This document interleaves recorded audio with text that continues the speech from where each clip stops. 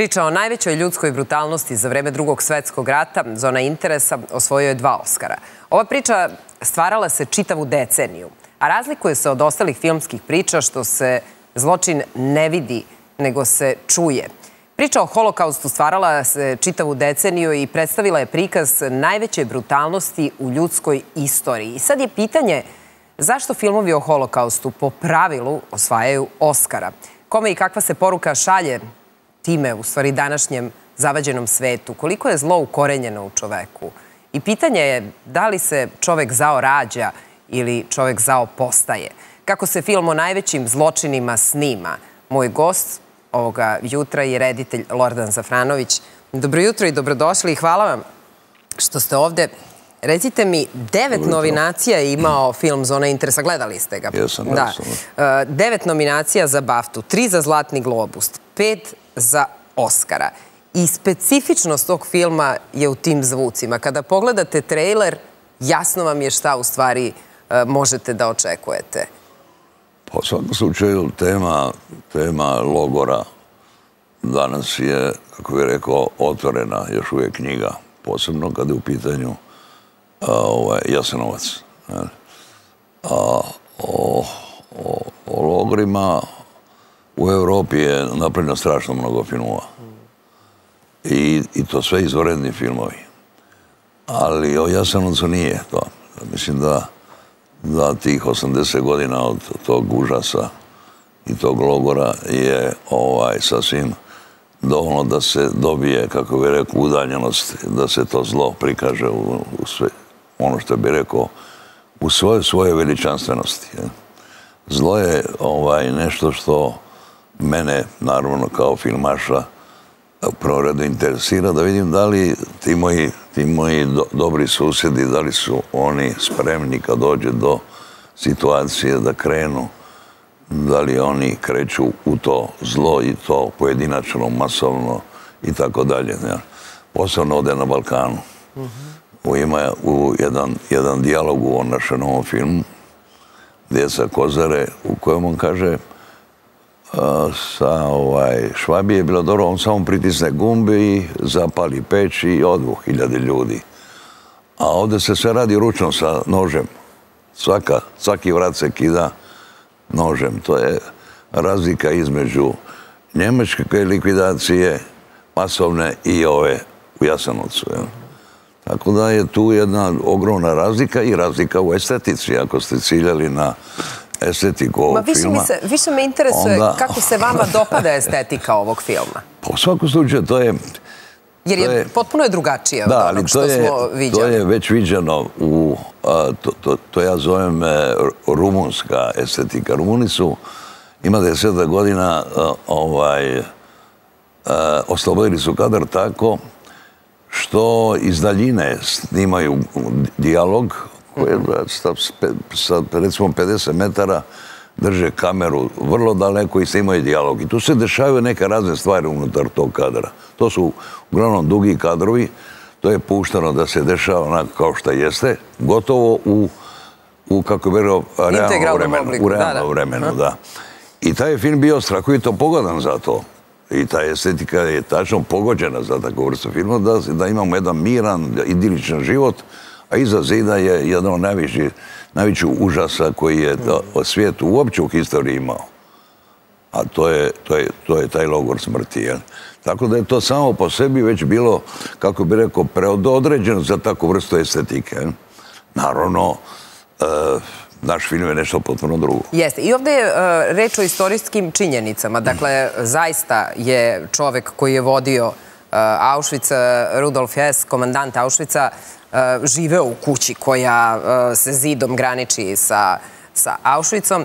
I nakon ovog filma se oglasila i sa svojom životnom pričom i Bridget Hess, kćerka komandanta Auschwitza, koja je dobar deo svog detinstva provela upravo kako kažu, u ovom nacističkom logoru smrti. U intervju Tomasu Hardingu rekla je da je Rudolf Hess bio divan otac, iako je ubio milion ljudi.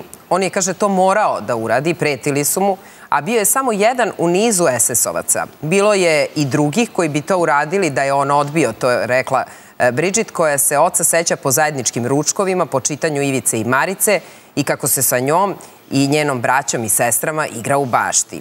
Inače, e, porodica Bridget Hess je posle rata izbila u Ameriku i o svom reklu nije uopšte pričala nikome i za njenu priču se do pre nekoliko godina e, nije ni znalo, čak ni njeni unuci nisu znali. Ako bi je neko pitao za oca, rekla bi da je otac umro u ratu. Jel smo oprostili kao društvo ovoj porodici ono što su oni, kako kaže njegova čerka, morali da rade? Pa u svakom slučaju ovaj, oprosta nema jer je, to, zlo toliko veliko da jednostavno prevazilazi bilo koji, ljudski ovaj, kako je rekao, bilo koji ljudski razgovor o tome. To jednostavno prelazi granicu svega likvidacija kompletnih naroda, kompletne rase, to je nešto strahovito i to po zakonu, jer po rasnom zakonu koji je otvorio mogućnost likvidacije čitavih naroda. Prema tome, to je nešto što je bilo plan i taj plan je realiziran državnim kao država. Država je to organizirala i ona je to sprovela.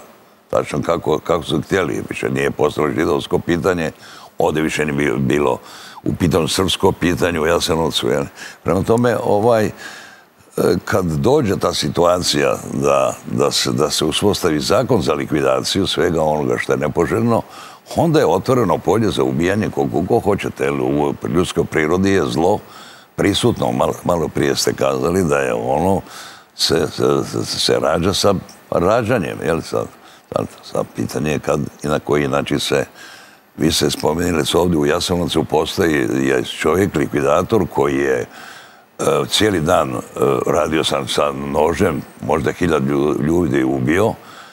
Najveće je došao umoran kući, imao je pet, petoro djece. E, večera je normalno, milovao tu djecu, pričao je neke bajke i priče prije spavanja i umoran je legao posle večere. Prema tome, on je to smatrao kao svoj, svoj, svoj posao. Svoj posao, da, odlazak na svoje, na svoje e, radno mesto. Ali je e, neobično, znate šta, e, vi ste, mnogo ste filmova snimili, snimili ste i Djeca Kozara je prvi dugometražni film koji snimate sa tematikom Jasenovca, ali ste snimili dokumentarac Krvi Pepeo Jasenovca i Testament. Dakle, i pitanje je što vas ta tema toliko, toliko drži? Do kojih odgovora želite da dođete kroz film? Ili šta želite da pokažete nama kao društvu? Dakle, kad kažete nije se uhvatio u koštac sa temom Jasenovca niko, a mnogi su snimali o logorima u Evropi filmove. Šta želite, koju istinu želite da, izgurate? To je, to je ovako, jedna ja sam, ja se bavio filmom gotovo cijeli život, i studirao sam film. Počeo sam kao amater, znači jedan ljubitelj filma, nešto što je e, zanimanje za sam medij, jer finski medij je čudesna stvar, on je zaista čudo. I u momentu kad sam se sreo sa tom količinom zla, sa, sa metodom na koji je to zlo urađeno, masovno, pojedinačno, jednostavno sam rekao idemo da stavimo taj film u funkciju. Idemo da ga koristimo da bi prikazali te naše strahove, da se to može da ponovi. mislim da može se ponoviti na, na isti način, mi smo tu prisutni. I onda sam e, radio prvo dokument, ja sam istraživao, naravno, da vidimo odakle to dolazi.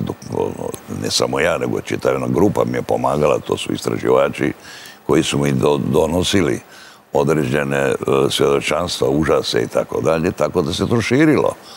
Na kraju, naravno, ovaj, došlo do tog usijanja i trebalo je napraviti igrani film, pošto sam ja u prvom redu reditelj igranih filmova, tako da sam nekako na neki način došao do jednog, kako bi rekao, do neke katarze vlastite. Ja sam žrtva svega toga skupa. Ja sam emigrirao zbog toga što su Ustaše 1991. došle su se, vratile su se u Hrvatsku. I ja sam morao napustiti zemlje jer je bilo opasno, bilo, bilo mi u pitanju život. Prema tome, to je tema koja mene osobno zanima. E, a zanima je zbog toga što je film pogodan za tu temu. Naravno da će biti ljudi koji će reći da sam možda preterao, da sam možda ovo, možda ono, to me uopće ne zanima.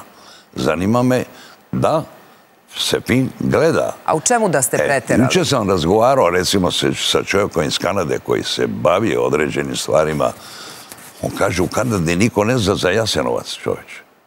Kako to? A u čemu mislite da... U čemu ljudi misle da ste vi preterali? Igrani film može sada da, da dovede do toga da se, da se otkrije logor Jasenovac. Jedno da se otkrije. E.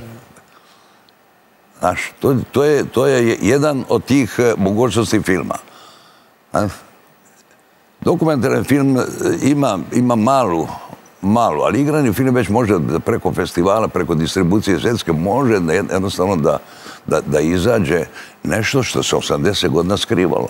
Da, pa dobro, e, znate šta, i mnogo toga smo mi naučili iz Schindlerove liste, život je S druge lep. strane, su- to je, to je, to je idealno za, za, za dramu. Ne? Mi imamo dvoje, dvoje mladi ljudi koje, koje imaju, usred tog užasa imaju e, tu neku dječačku prvu ljubav, znaš, tu, tu, bez obzira koliko je strašno taj užas oko njih, oni ipak uspostavljaju od- određene kontakte koji su nešto na, na nivou ljubavi.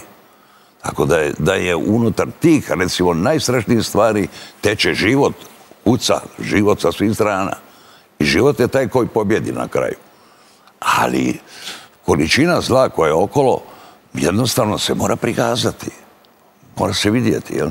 Da li će to biti za gledalce šokantno ili neće, to je, to je veliko pitanje. Još smo uvijek u, u nekom ispitivanju do koje mjere možemo ići. A u kojoj ste fazi? Pa sad smo sad u fazi da, da smo za- završili ovaj, ko- kompletni tih o- osam sati tog, te buduće serije i sad se radi op, op- operacija, vadi se iz toga film. jel? Vadi se film koji će biti prikazan svijetu. Ja. Kad? Ha, on će biti do kraja godine sigurno. Da, ali kad kažete da m, vadi se nešto, dakle, mene, mene interesuje e, jel, jel, ste, s- jel ste potpuno e, sigurni da je trenutno moment u svetu pogodan za filmove koji se tiču nacista, nacističkih Nažalost, na, zločina. nažalost jeste, jer je e, toliko opasno da se stvar ne ponovi je, je ogromna. Mi smo svjedoci svaki dan tih ratnih užasa koji dole na Blisko istoku ovde u, Ukrajini. To su jednostavno stvari koje su nas do- dolaze sve bliže i bliže nama. Tako da mene zaista strah. Mi smo, mi smo imali strahove, kad kažem mi, to je bio Kovač, to je bio Filip David, to je bio Danilo Kiš, koji su sa mnom surađivali. Mi smo 70. godina imali strahove da će se ponoviti ovo, ova de- i ponovila se Napravili smo okupaciju od vrše slika kao upozorenje, pad Italije i tako dalje. Međutim, 91. nas de- de- demantirala, mi smo mislili da pravimo neki krik protiv. Međutim, desilo se potpuno po istom scenariju sve skupa, de- de- 90. godina. ne. Tako da se jednostavno naše strahovi su, nažalost, bili realni. Današnji strahovi moji su također, nažalost, realni. ne, Da se može ponoviti. Na ovim prostorima. A tako je. To se pumpa jedna mržnja koja se pumpa već 20 nešto godina. Ja sam svjedok toga. Da sam dovoljno jedan, jedan ovako mali fitilj da, da eksplodira. Tako da je to, da je to nešto što je, što je, što je dnevno. To je, Da, to je jednostavno tu među nama. Da, i, i e, malo pre sam rekla, dakle, imamo e, filmove koji e, su snimljeni u svetu, ali nekako ni jedan logor nema decu kao kao glavne aktere. Jasenovac e, ima decu. E, dakle, malo pre kad ste rekli e, pumpa život između dvoje, dvoje mladih, oni Tako su je. deca. Oni, oni su, i oko njih su isto deca. Da. Recite mi, koliko je trajalo to snimanje? Koliko je dece prošlo kroz kadar? Pa prošlo, pa ako samo kažem da je bilo 180 i nešto glumaca, pa znači epizodista, vamo 180 glumaca je bilo, profesionalnih glumaca. A onda je ovaj, djece bilo sigurno još, još toliko, možda i više. Možda i više, E, da. Tako da smo imali jedan ansambl veliko, za, zaista veliki film to. To je jednostavno film koji u Evropi danas se vrlo rijetko može snimiti uopće. Mi smo ga, mi smo ga snimili, hvala Bogu. I, On je, on je tako jedan, on ima te pojedinačne sudbine tih, tih zlikovaca koji, koji kreću I ima taj, taj hor veliki, to su, to su velike scene progona, užasa i tako dalje. To je jedna masa ljudi, to je, to je jednostavno film koji će se gledati, koji je spektakularan, jer je jednostavno tako rađen. Da. E. I čekamo ga, da vam kažemo, još ćemo razgovarati o, o, tom filmu kad bude bilo, kad bude došlo vreme. Pa naravno, estetika, svaki, svaki autor ima svoju estetiku i, ovaj, i, svoj svijet. Moj osjećaj je takav kakav, će biti, vjerovatno će biti ok, zato što svi filmove koje sam radio su imali ogromni broj, broj publika, a meni je to cilj. Da. se šta više gleda u svijetu film. Pa tako je, pa, pa, jedino tako može i poruka da se pošalja ako se bude gledao. Pa tako je, da, tako je, apsolutno. Da. Mnogo vam hvala na gostovanju i srećno, da, srećno e, u, daljem radu. Jer neko kaže, evo, snimljen film, gotovo, a u stvari ima, ima još mnogo posla. Mi smo K1 televizija. Gledajte nas na ovim kablovskim operaterima.